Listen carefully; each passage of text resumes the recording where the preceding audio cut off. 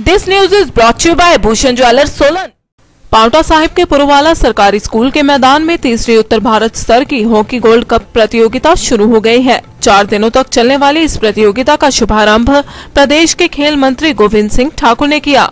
इसका आयोजन माँ यमुना हॉकी क्लब पावटा साहिब करवा रहा है।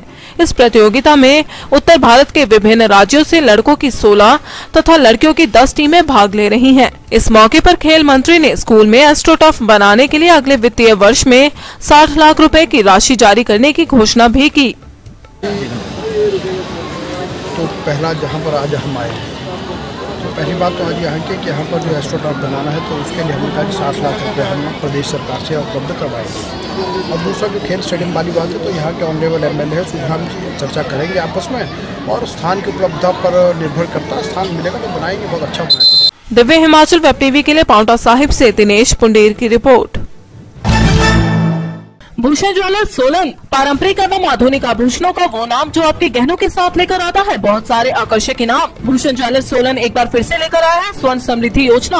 भूषण ज्वेलर्स में खरीदारी पर पहला इनाम ढाई लाख के आभूषण, जबकि दो भाग्यशाली विजेताओं को दुबई टूर पर जाने का अवसर मिलेगा।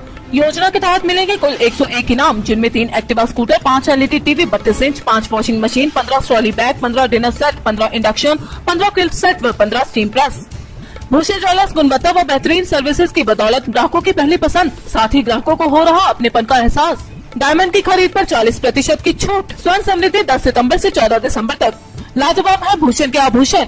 भूषण ज्वेलर्स के एमडी विनय गुप्ता बताते हैं कि चाहे स्वर्ण आभूषण हो, हीरे या फिर चांदी के आभूषण, भूषण ज्वेलर्स में आकर्षक व आधुनिक डिज़ाइन का विस्तृत रेंज उपलब्ध है। यही कारण है कि बहुत कम समय में प्रदेश के नामी ज्वेलर्स में शुमार हो गए। तो आज ही चले आइए भूषण ज्वेलर्स।